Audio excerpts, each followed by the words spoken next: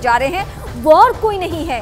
यहवा सनवार है, जिसे Israel Hamas का बिन लादेन कहता है। उसी के एक इशारे पर इसराइल में आतंक की इबारत लिखी गई। अब उसे ठिकाने लगाने के लिए नितन्याहू बेताब है। इसराइल उसके खात्मे के लिए ताबड़तोड़ गाजा में हमले भी कर रहा है।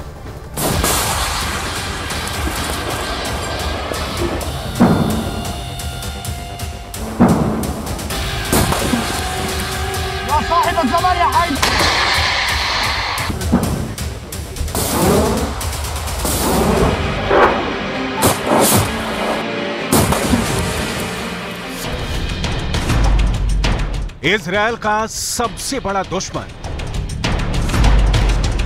गाजा में हमास का बिन लादेन। नेतन्याहू करेंगे हमास का सर्वनाश।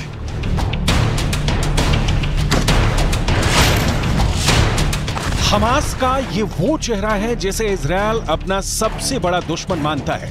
यही वो चेहरा है जिसने इसराइल पर हमले का ब्लूप्रिंट तैयार किया। यही वो चेहरा है जिसने हमास के आतंकियों को हैवानियत की हदें पार करने की हिदायत दी। इसका नाम है याया सेनवार। गाजा पट्टी में जब इसराइल ताबड़तोड़ हमलों को अंजाम दे रहा था और एक एक करके हमास के कमांडरों को मौत के घाट उतार रहा था उस वक्त बहुत ही बेसब्री से अगर किसी के खात्मे का इंतज़ार इसराइल की सेना को है तो वो है या, या सिनवार। याया सिनवार वो दिमाग है जिसने मोहम्मद दईफ के साथ मिलकर इसराइल पर हमले का मास्टर प्लान तैयार किया। और ये सब कुछ इतने खुफिया तरीके से किया गया कि दुनिया की सबसे बेहतरीन खुफिया एजेंसी मोसाद को भी भनक नहीं लगी। यहाँ तक दावा किया जा रहा है कि अपनी इस प्लानिंग को अंजाम देने के लिए सिनवार और दईफ ने ईरान से फंड हासिल किया। लेकिन उन्हें भी मालूम नहीं था कि हमास किस तरीके से इसराइल पर हमला करने वाला है।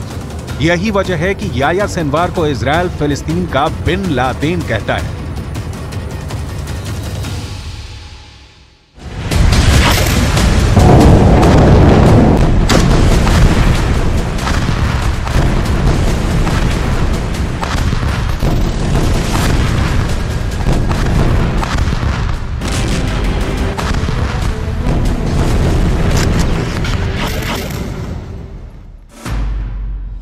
हमास का शैतान दिमाग। 60 साल का याया सिनवार गाजा में हमास का हेड है। सिनवार ने इसराइल की जेल में बिताए हैं 24 साल। 2011 में एक इजरायली सैनिक के बदले रिहा हुआ। 7 अक्टूबर के हमले में मारे गए 1300 इजरायलियों का कातिल। 7 अक्टूबर के हमले का मास्टरमाइंड है सिनवार। सिनवार को खान यूनिस का कसाई कहा जाता है। हमास के मिलिट्री यूनिट का चीफ है सिनवार।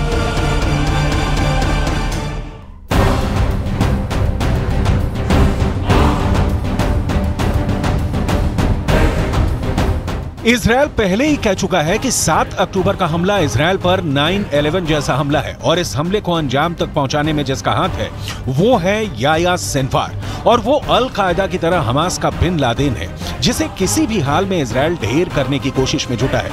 और इसी के लिए इसराइल गाजा में ग्राउंड मिलिट्री ऑपरेशन शुरू करने वाला है।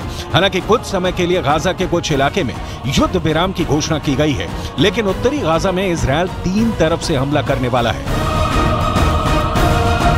समंदर आसमान और जमीन से यह हमला कभी भी शुरू हो सकता है और इसराइल किसी भी हाल में उस शख्स को नहीं छोड़ने वाला जिसने इसराइल पर इतने बड़े हमले की साजिश रची